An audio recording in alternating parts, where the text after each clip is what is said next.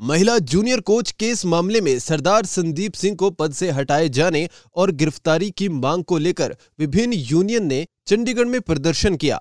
हरियाणा भर से करीब 15 से ज़्यादा यूनियन सरदार संदीप सिंह को मंत्रिमंडल से हटाने और गिरफ्तारी की मांग कर रहे हैं। संदीप सिंह के विरोध में भारी संख्या में प्रदर्शनकारी पंचकुला चंडीगढ़ बॉर्डर पर पहुँचे। इस दौरान पंचकुला पुलिस और प्रदर्शनकारियों के बीच आगे बढ़ने को लेकर धक्का मुक्की भी हुई।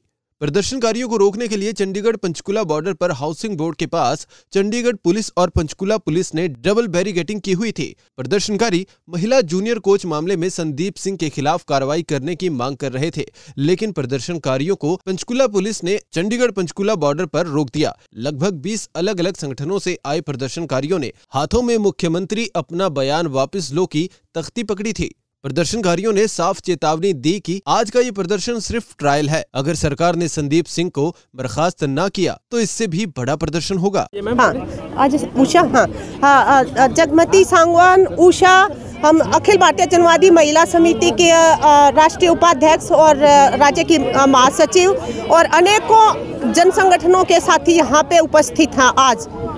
क्या प्रदर्शन किस मांग को लेकर किया गया? कितनी यूनियंस इसमें शामिल है? हाँ, इसके अंदर 20 से ऊपर संगठन हरियाणा के शामिल हैं और संदीप सिंह जो है उन्होंने एक एथलीट जो हमारी होनहार एथलीट है उसके साथ जो यौन हिंसा करी है हम मांग करते हैं कि उनको कैबिनेट से हटाया जाए। पहले भी उन्होंने पावर की पोजीशन से उसके ऊपर अपराध किया है और अभी भी वो अगर कैबिनेट में रहते हैं तो लड़की को न्याय नहीं मिल सकता।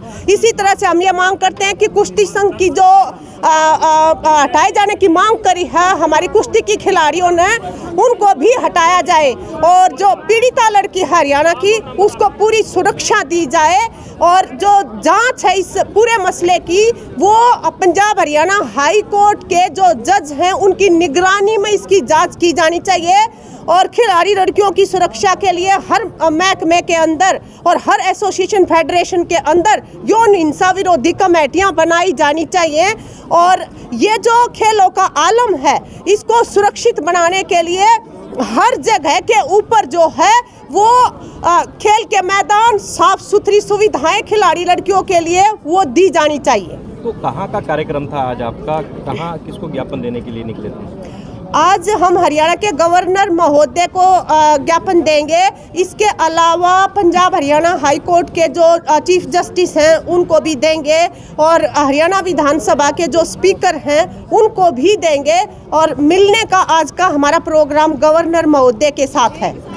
जनवादी महिला समिति भारी संख्या में इसके अंदर आए हैं। खेत मजदूर यूनियन है इसके अंदर, सर्व कर्मचारी संघ है इसके अंदर इसके अंदर अखिल भारतीय किसान सभा है, इसके अंदर विकलांग अधिकार मंच है, तमाम 16-17 संगठन है, लेकिन ये संगठन ये मत सोचो कि ये संख्या, ये अभी तो जो है प्रमुख लीडरशिप ही आई है, एक ये ट्रायल है सरकार को हम चेतावनी देने के लिए आए हैं, अन्यथा ये लड़ाई और आगे बढ़ेगी, ये तो अभी एक अंगड़ाई है, लड़ाई तो अभी बाकी है, जब तक पीड़िता को न्याय नहीं मिलता ये लड़ाई जारी रहेगी हमारी।